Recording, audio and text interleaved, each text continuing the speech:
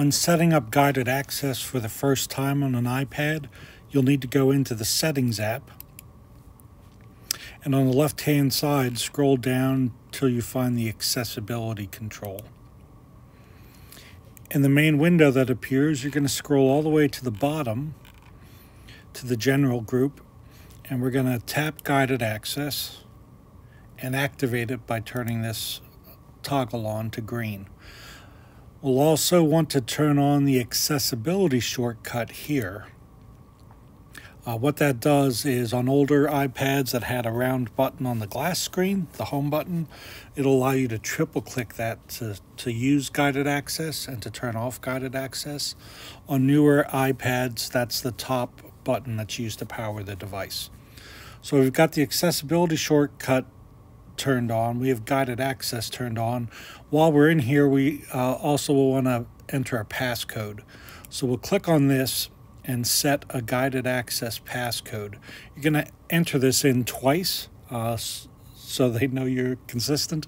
Um, this is not a number you want the student to be able to easily guess, and you certainly don't want to plug this in in the student's eyesight or line of sight. Uh, if they learn this, it defeats the purpose of using it. So um, I like to use uh, my zip code for the school or home.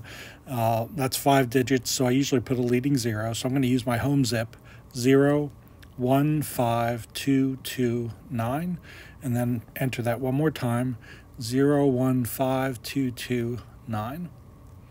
And now we're ready to go. So we can get out of settings and launch whatever app uh, you want the student to use on the device.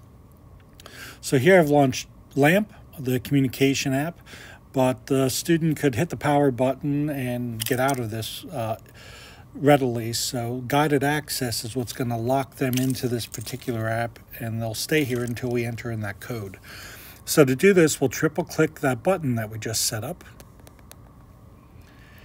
and it's indicating on screen that guided access has started. So I can say that I'm work. ready to do my work, but if I hit the power button to try and exit, uh, you'll see it tells me that guided access is enabled and it won't let me out. Um, so the student stays here until uh, we otherwise uh, disable this feature. To do that, we triple click the uh, button again we plug in without our student seeing our passcode 015229 and now it takes us to an intermediary screen if we want to do some changes to the settings um, we can do that with the options button at the bottom where we can circle areas on the screen that we want to essentially make dead and inaccessible. Uh, resume at the upper top would take us back in with guided access turned on. But in this case, I'm done with my work. I want to end. So when I tap that, guided access is turned off and we're ready for our next step.